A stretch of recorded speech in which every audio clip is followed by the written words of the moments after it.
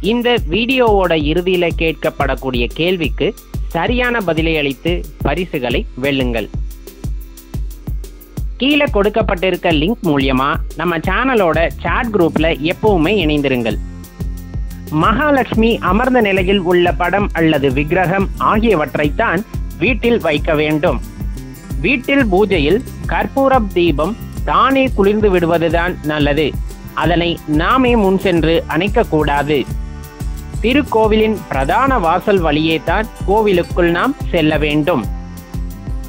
அர்ச்சனை பொருட்களை இடது கையால் எடுத்து செல்ல கூடாது கோவிலிலிருந்து வீட்டிற்கு வந்ததும் சிறிது நேரம் கழித்து கை கால்கள் கழுவலாம். ஆனால் கட்டாயம் குளிக்க கூடாது எலும்பச்சம்பழம் தீபம் கோவிலில் மட்டுமே ஏற்ற வேண்டும்.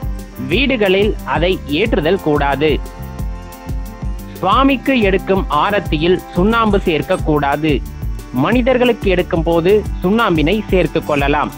சனி பகவானுக்கு வீட்டில் எல் விளக்கு ஏற்றக்கூடாது. இறைவன் சந்நிதி போன்ற தெய்வீக அலை உள்ள இடத்தில் யோசித்தால் நமக்கு ஏற்படும் சிக்கல்களுக்கு நல்ல முடிவு கிட்டும் என்று கூறப்படுகிறது. நல்ல காரியங்கள் பற்றி பேசும்போது எல் அல்லது எண்ணெய் பற்றி பேசக்கூடாது. பேசினால் சுபம் தடைபடும் என்றும் குறிப்பிடப்படுகிறது. கோயில் மூடியிருக்கும் போது திருமஞ்சன பூஜையின் போதும் திரையிட்டிருக்கும் போதும் வழிபடுதல் கூடாது. குங்குமத்தை வலது கை மோதிர விரலில் எடுத்து இட்டுக்கொள்வதே மிகவும் நல்லது. விக்கிரகத்திற்கு தீபாராதனை நடக்கும் போது கண்களை மூடிக்கொண்டு கடவுளை வணங்கக்கூடாது. பெண்கள் மாத விளக்கின் போது எக்காரணம் கொண்டும் பூ வைத்துக் கொள்ளக்கூடாது. இறந்த முன்னோர்களின் படங்களை சாமி படங்களுக்கு அருகில் வைத்து வணங்கக்கூடாது. வாழைப்பழம் சாப்பிட்ட பின் மோர் சாப்பிடக்கூடாது. பூஜை அறையில் தெய்வ படங்களை வடக்கு நோக்கி வைத்தல் கூடாது.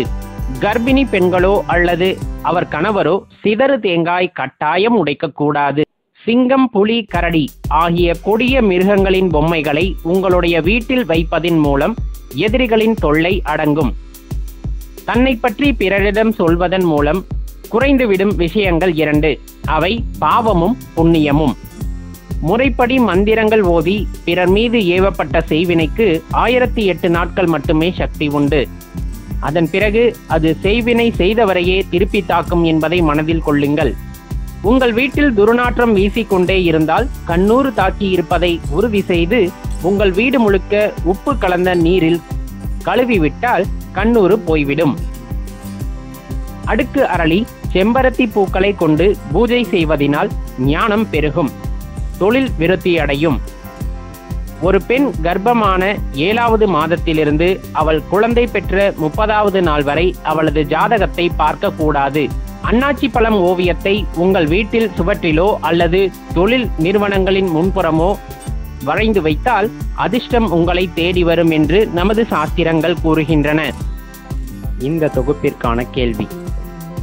மகாபாரத போரின் போது கர்ணனின் இறுதி யுத்தத்தில் கர்ணனுக்கு தேரோட்டியாக இருந்தவர் யார்? இதற்கான பதிலை கீழே கமெண்டில் சென்று பதிவிடவும். மேலும் தகவலுக்கு எங்க சேனலை மறக்காம சப்ஸ்கிரைப் பண்ணுங்க. நன்றி.